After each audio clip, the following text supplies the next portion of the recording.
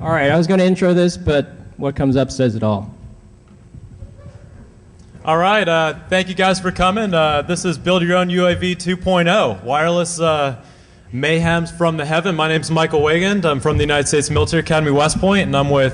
Uh, I'm Renderman. I'm just a nice guy, so you know, I don't have the, the, quite the title he does, but what you don't believe me? Hey, so we want to keep the we want to keep the energy up uh, today. So uh, so let's let's show a little intro movie.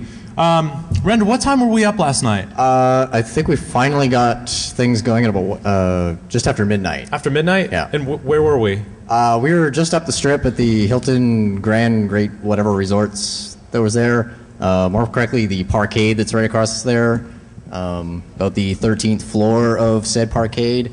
Um, yeah, there's no cameras up there, by the way. Uh,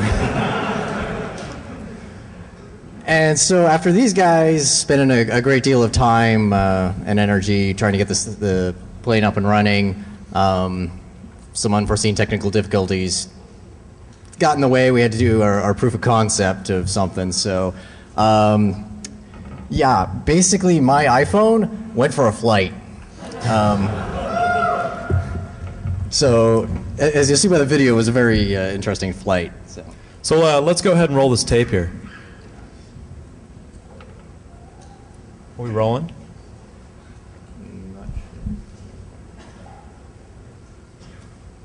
Oh, I think we're minimized.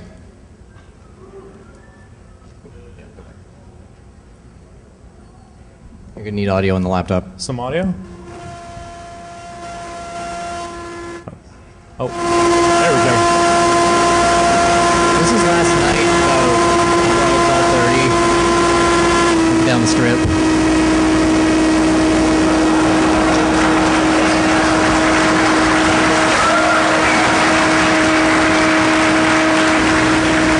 And uh, and this is where it gets a little hairy. Um, I think it's because we were, you know, playing Peep and Tom, and uh, the gods were coming after us. So right about here, we must have pissed somebody off. Stabilizer motion. Stabilizer motion. Autopilot. Stall. Altitude.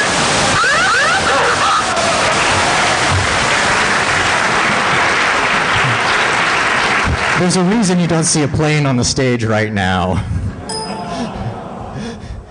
but uh, yeah, uh, my phone went from a 400 foot free fall inside of the styrofoam plane. So, uh, you know, Now we did recover. We'll show you the damage a little later on, but um, all right, let's get back to business real quick.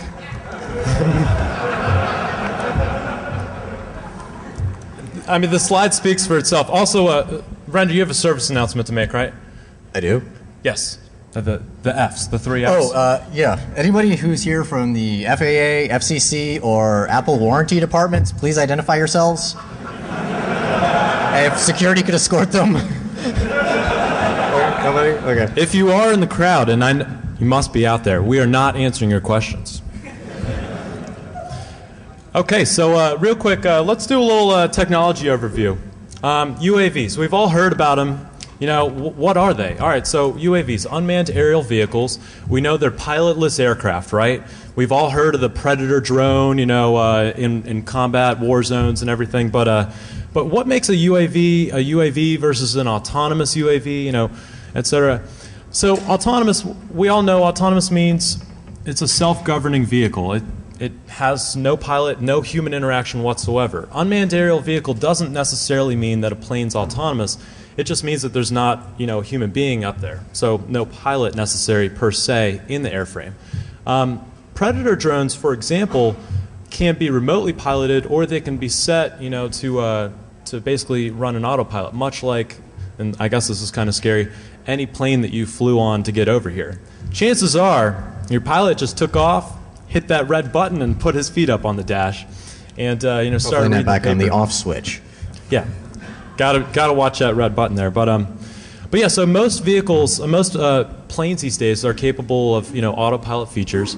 But what makes a unmanned aerial vehicle autonomous is that it doesn't require any human interaction for the entire duration of of the uh, flight. It has higher level intelligence. Um, it can uh, predict uh, weather patterns, you know, alter its uh, flight plan according to you know numerous criteria. It can make decisions like a human being can. An autopilot, as you can imagine, simply just flies a pre-programmed route. Um, now these uh, these UAV systems, they uh, they range from you know medium to large scale uh, systems. And what we're going to show you today are basically what you can do if uh, you know you have $1500 $2000 you want to go out spend some time you know experience some heartbreak like we did last night and, uh, and build your own system. So it was more uh, the abject terror when we were seeing you know blinking police car lights in the distance. the plane hits the ground and like sure enough whoop whoop and they're right Oh, down the street. We're like should we go get this or render did you wipe your prints? Yeah, uh, I forgot about that part. Okay, so uh, if you guys were interested in going out in the market, now doggone my slides keep breaking, and uh, and you wanted to build uh, your own system, um, more down at the DIY level, there are a whole series of, of complete autopilot uh, uh, solutions for uh, model airplanes. Um, all the way down at the bottom is the ArduPilot project. That's probably the cheapest uh, one that I've come across yet. The original board was twenty-five dollars. Now um, it's it's just a microcontroller. It's just an Ardu an Arduino that's been modified for UAV purposes, and um, honestly, that's that's more than enough to uh, to get a plane to to fly autonomously um, or pseudo autonomously. You still have to take off and land, but you give control over to it, and it, it flies basically whatever you program in. Now they've since graduated to um, an Arduino Mega that they've modified uh, for purposes, and um, you know I guess kind of not too creatively called their uh, their new board ArduPilot Mega, but um, there's some other boards out there as well. The UAV Dev board, the Paparazzi project, that's uh, an open source Linux based uh, autopilot project. Um, FlexiPilot, Easy UAV. Getting more into the more expensive uh, commercial products for small scale models, we have uh, Autopilot. And then you see up in the red, those are systems that cost over $1,500 and frankly are kind of out of my uh, you know, student budget. So I didn't really focus on those much. But the point is that if you have a little bit of change and uh, you have the, the interest, there's a whole bunch of ready made solutions out there that you can integrate into airframes. So, um, continuing on with our, uh, our UAV uh, tech demo, um, basic flight characteristics. So, an unmanned aerial vehicle is a plane, essentially. They can also be helicopters, they can be, you know, uh, I don't know what else there is, but I, I've seen some crazy stuff. I've even seen a flying lawnmower. Take it for what it's worth, but all UAVs share a couple things in common. Um, they all have to fly, they all have to navigate, and they all operate some type of payload. So flight, we know uh, any type of flying body is uh, affected by you know four forces up in the air. You've got lift, weight or gravity, thrust, and drag affecting uh, you know that that uh, that body that's uh, moving through um, air, which essentially is just a fluid. And so uh, when we're flying, we have to both stabilize the platform, and we also have to uh, take into account, you know, uh, airspeed, um, and uh, you know maintain maintain some semblance of altitude, unlike uh, what we did last night. Um, so once we have the flying piece and the, the plane's actually in the air, then we need to somehow control it. We want to give it direction because we want it to go where we want it to go. So that's where the navigation uh, piece comes in handy. And uh, we'll talk uh, in a moment about the different uh, components that you know make this really easy um, and, and cheap to perform. And then third, you know, putting a, a UAV up in the air, all right, that's cool. We, we now have this object that can fly around wherever we want it, but what if we wanted to do something? Now, I'm sure many of you out there can think of all kinds of creative applications for a plane that can fly by itself, but you know, we want to operate some type of payload, so maybe we want to do some sensing uh, missions like we were last night, you know, checking out uh, who left their blinds open on the Vegas, Vegas Strip. Or, um, hey, maybe we want to do some sniffing operations. We want to, I don't know, I want to follow Renderman as he, you know, uh, sees all the sites around Vegas, and he just happened to leave his iPhone uh, 802.11 on. Uh oh. Um, you know, maybe we want to send some live video back like uh, we were doing um, using RF. Uh, shoot, maybe we want to put a laser up there. And I'm sure you guys can think of all kinds of other applications. We'll actually talk about some more payloads uh, a little later on.